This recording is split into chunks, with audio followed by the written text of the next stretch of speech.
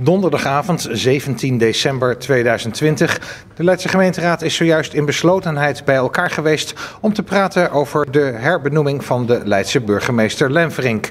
Harry Lenverink is bijna 18 jaar burgemeester van de Sleutelstad, maar hij ambieert wel een vierde termijn. Die zou dan in mei volgend jaar ingaan. Maar voor het zover is, moet de gemeenteraad een voordracht doen aan de minister van Binnenlandse Zaken. En dat gaat dan via de commissaris van de Koning in Zuid-Holland, Jaap Smit. Wat daar is besproken, dat blijft geheim. Maar aan het eind van die geheime vergadering was er dan witte rook. De gemeenteraad van Leiden draagt Henri Lenfrink inderdaad voor voor een nieuwe periode van nog eens zes jaar. Burgemeester, bijna 18 jaar. Is het niet een keer klaar? Um, nou, nog niet helemaal. Um, 18 jaar die is eigenlijk voorbij gevlogen. Uh, ik heb het ontzettend naar mijn zin in de stad. Dat was eigenlijk van meet af aan al uh, zo. De eerste weken uh, kreeg je al direct het gevoel: dit is mijn stad, wat geweldig is het uh, hier. is eigenlijk in die periode alleen maar sterker geworden. En ik voel me nog fit genoeg, dus waarom zou je dan stoppen? Ja, ik hoorde natuurlijk ook zeggen: ik ben nog niet klaar. Maar wat zijn dan zaken die u nog wil doen? Nou, er zijn nog zoveel zaken waar we met het college mee bezig zijn, met de raad mee bezig zijn. En die moeten natuurlijk nog wel uh, vervolmaakt worden. En daarnaast ben je als uh, burgemeester ook steeds met algemene vragen uh, bezig. Nu hebben we weer het hele verhaal rond corona gehad. Je ziet dat daar ook in de stad wel tegenstellingen door ontstaan. En dat is ook een van de dingen waar je als burgemeester voor bent. Om ervoor te zorgen dat het ook een beetje bij elkaar blijft. En dat hoort er ook bij.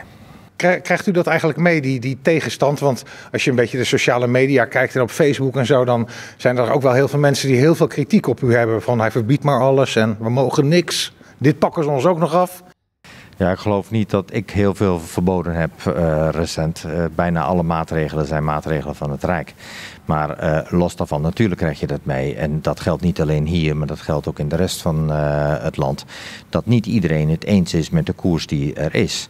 Maar dat lukt ook moeilijk in zo'n situatie waarin we nu zijn.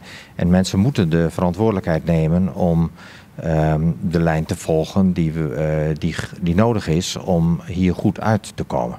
En uh, ik ben het echt eens met de hoofdkoers die we nu aan het volgen zijn. En daar sta ik dus ook voor. En inderdaad, als mensen daartegen zijn, dan hebben zij dat recht om dat te zeggen. Maar we moeten wel proberen om die samenleving ook niet te veel uit elkaar te laten spelen.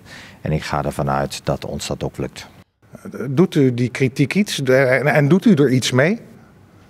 Kijk, die kritiek is natuurlijk um, uh, iets wat nooit prettig is. Maar uh, aan de andere kant realiseer ik me dat uh, er ook een heleboel mensen zijn die daar anders tegenaan kijken. Zo is het nu eenmaal in een samenleving dat wanneer je het over maatregelen hebt, zijn er altijd veel die voor, voor zijn en mensen die er tegen zijn.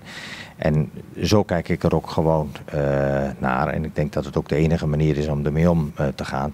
Het lukt maar zelden om besluiten te nemen die voor iedereen heel gelukkig zijn. Dat is nou eenmaal onderdeel van het werk vanavond dan uh, ja, die, die, die voordracht hè, voor die nieuwe vierde termijn. Dan gaat u op naar de 24 jaar. Gaat u die volmaken? Ja, dat moet je altijd nog zien. Ik voel me op dit moment heel erg fit. Dus dan uh, ben ik daar niet bang voor.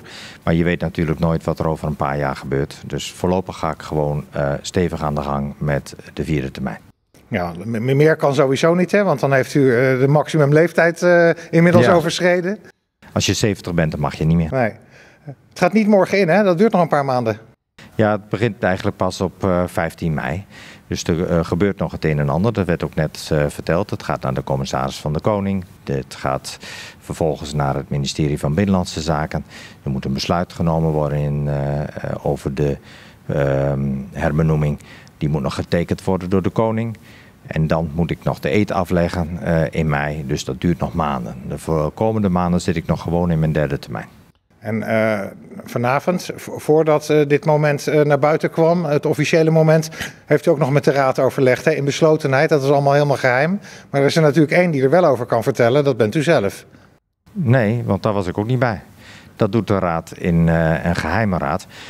misschien dat ik er eigenlijk nog wel bij had kunnen zijn, maar ik vond, het, ik vond het wel zo netjes dat de raad dat eventjes met zichzelf kon, kon bespreken.